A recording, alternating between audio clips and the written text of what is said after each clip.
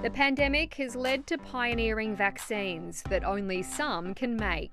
There is not a country in the world today, other than those who had that capacity before the pandemic began, that has an end to end manufacturing capability for mRNA vaccines. Not one. Now, the federal government wants Australia to have that capacity within three years. There's no facility in Australia right now that can handle that kind of capacity. The Commonwealth is considering a dozen proposals, including from CSL, Luina Bio, IDT, and Biocina. But getting manufacturing underway soon hinges on the two biggest vaccines. We all know of the Pfizer and Moderna vaccines. They're superly effective, they're fantastic.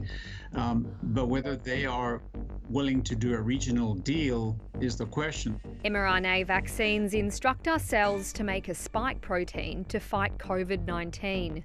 Australia's already getting 40 million doses of Pfizer and BioNTech's messenger RNA vaccine, plus 85 million booster shots.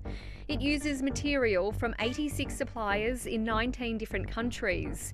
Crucially, Pfizer controls its supply chain and owns the rights to make its jab. The vaccines are manufactured in Europe and America, and Pfizer is ruling out manufacturing its vaccine here, either directly or through partnerships they've been putting hundreds of millions of dollars um, into the know how and their capability to deliver these as products. And they're going to want to protect that from a commercial point of view. Australia is also buying Moderna's vaccine, which isn't approved here yet.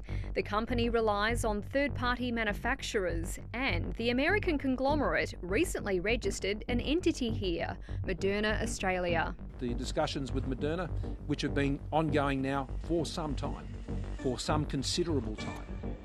Moderna wouldn't comment on its plans for Australian manufacturing. The only short term solution is probably Moderna making their vaccine under license. That could be done by a few companies.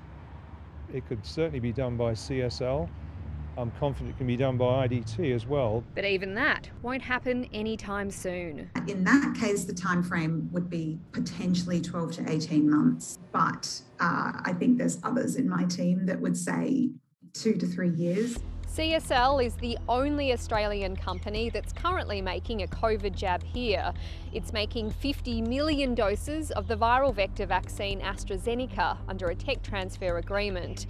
CSL wouldn't say what vaccine their latest mRNA proposal involves. Luina Bio and Biocina have both told the business they're not partnering with Pfizer or Moderna. Both have undisclosed partners which are still in trial phase. We expect to be able to go from the start of the project to having registered vaccine approved by the TGA out the door within two years. Colin Pouton also has a vaccine that's about to go into clinical trials and is tied to IDT's proposal. It's probably going to be particularly useful for booster vaccines against variants of concern. The Victorian government is also injecting $50 million into producing mRNA vaccines here. Experts say that booster shots and long term supply is where the opportunity lies, but they urge us not to get too focused on one sort of vaccine. For all the hype around mRNA, there is other types like AstraZeneca and Novavax, which our government has ordered pending approval. Absolutely critical to have a whole range of vaccine solutions um, and potential solutions for COVID 19. A sentiment that we now only know too well.